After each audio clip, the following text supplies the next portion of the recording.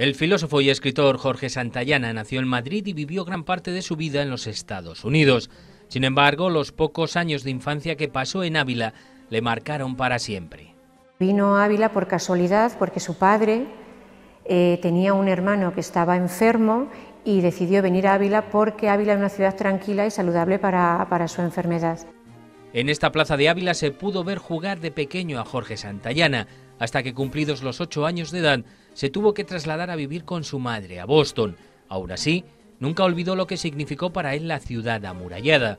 Solo hay que leer su autobiografía para comprobarlo. Da eh, una referencia de su pensamiento, de su relación con su tiempo y también algo que me parece muy atractivo que es su aprecio singular eh, de Ávila para él Ávila, donde mantuvo su casa en la plaza de Santa Ana eh, todo el tiempo, eh, y, es un lugar, eh, el lugar de los, de los místicos, el lugar que resume su imagen de España. Él decía que había dos lugares en los cuales, desde los cuales se podía ver el mundo, que eran Ávila y Boston. Le impacta de Ávila cómo vive la sociedad de Ávila en ese mundo antiguo, regido por la costumbre un estilo de vida completamente distinto al que tenía en Boston. Convertido en un prestigioso escritor y pensador, obtuvo la cátedra de filosofía en la Universidad de Harvard.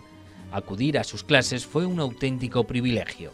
Es el único eh, que conozcamos, la única persona así cercana que tenía como oyente a un presidente de los Estados Unidos. Un día se descubrió porque había solo cuatro. Era un lujo que se permitía en la Universidad Americana. Porque claro, la filosofía de la, la altura comunicativa de, de Santayana era muy alta. En Estados Unidos, si uno pregunta por un filósofo, eh, todavía Santayana sigue siendo la referencia. Los pensamientos de Santayana se basaron en la experiencia.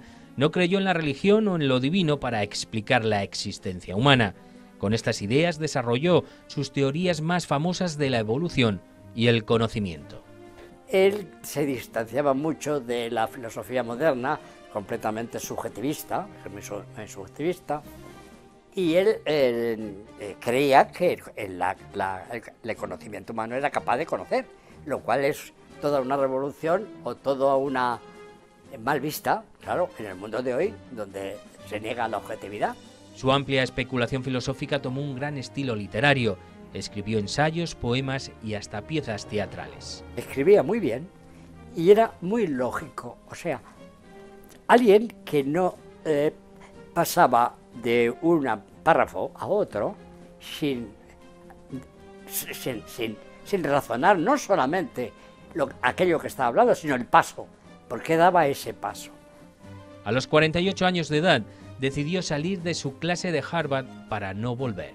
Un día ve volar un pájaro y, dice, ¿qué hago yo aquí metido? Eh, si tengo, tengo todo por hacer, es decir, y prácticamente con 48 años abandona la universidad, la cátedra de, la Universidad de Harvard y se viene a Europa. Y es que según decía Santayana, la vida no está hecha para comprenderla, sino para vivirla. Lo que muchos no comprendieron es cómo estando la mayor parte de su vida fuera de España, jamás abandonase la nacionalidad española él simplemente se dedicó a vivirla desde fuera.